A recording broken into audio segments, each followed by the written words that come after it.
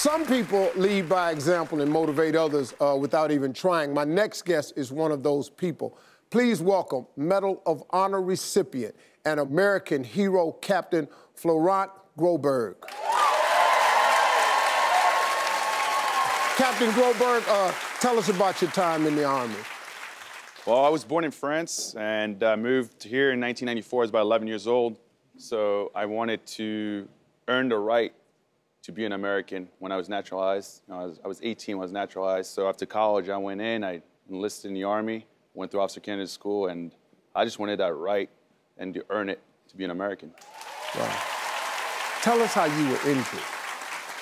On August 8, 2012, I ran a personal security detail for Colonel Mingus. He was in charge of the eastern province of Afghanistan.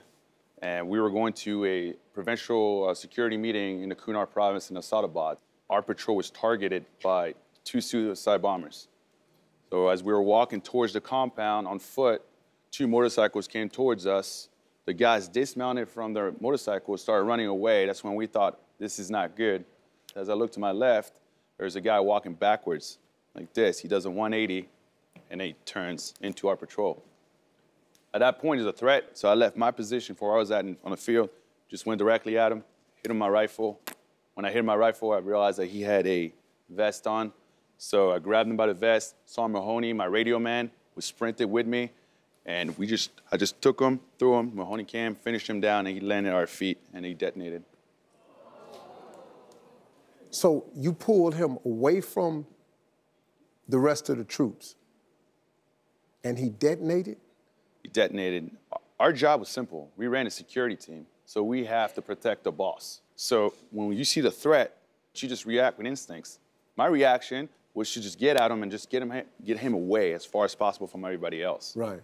And we did that, and we still lost four individuals. Command Sergeant Major Griffin, Major Gray, Major Kennedy, and Reggie Abdel Fattah all were killed because of that action. How, what, what injuries did you receive? So I lost 50% of my lower, uh, lower left calf muscle.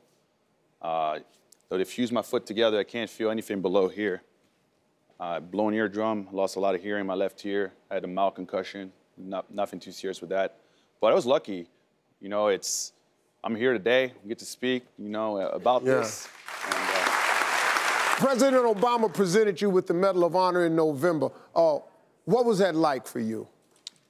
Well, that was probably the most emotional moment I've ever had in my life when the president put the medal around me. When they, ran, they read the whole citation, and I'm standing up like this, and all I could see in front of me were the Gold Star families. Gold Star families are the families of the members that were killed. And they mean the world to me because my, be- my biggest demons that I had when I came back is was I, I, I was scared that they would be mad at me and they wouldn't accept me because I didn't get to bring back their husband, brothers, son. Wow. But they were all there in support. It was emotional.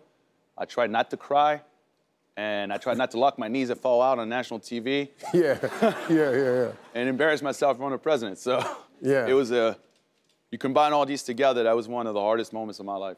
Let me tell you something. These jobs that these young people take on, volunteer to go and serve their country and put their life in harm's way, they are actually cut from a different type of cloth. Me and you ain't cut from that cloth. They deserve more. We got to find more ways to take better care of them. I, I, really do think that, man. I think you're a real hero. Thank you, sir. Thank you, Steve. I tell you, man, out of sight. Thank you, brother. And thanks to all my guests today. Stay motivated. Hey, folks, welcome. Uh, thanks for checking out my YouTube channel. Don't forget to click here to subscribe to my channel. That way you won't miss a single hot new video, some really good stuff. And then I want you to click here to see more clips from the show right now.